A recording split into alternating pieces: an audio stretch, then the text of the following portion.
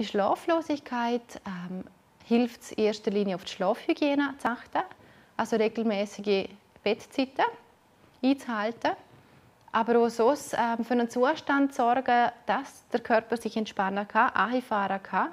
Und ich denke vor allem bei den Jugendlichen ja, also Ausschalten von, von den technischen Geräten, also vom Handy und auch vom Laptop. Weil oftmals ist es so, dass Jugendliche das Gefühl haben, sie müssen immer erreichbar sein und sie möchten auch hören, wenn etwas kommt, wenn ein WhatsApp kommt oder wenn, wenn jemand anskypt. Ähm, möchte ich das mitkriegen, auch im Schlaf. Und das ist natürlich sehr hinderlich für die Entspannung und für den Schlaf. Also, dass man in erster Linie auf eine gesunde Schlafhygiene achtet. Und dann gibt es auch verschiedene Entspannungsübungen, die hilfreich sein können zum Beispiel PMR, progressive Muskelrelaxation. Da kann man sich zum Beispiel mal auf YouTube ähm, eine Anleitung suchen und mal ausprobieren oder auch autogenes Training kann helfen, um sich zu entspannen und so den Körper in einen schlaffördernden Zustand ähm, zu kriegen.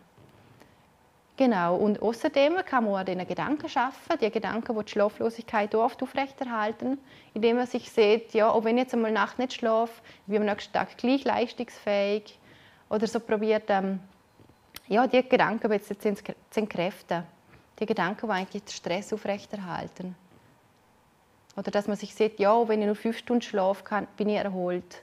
Oder auch wenn ich mal nicht schlafe, wenn ich mich trotzdem probiere zu entspannen, kann sich der Körper regenerieren. Also dass man mit diesen Gedanken den Druck, schlafen zu müssen, ähm, reduziert.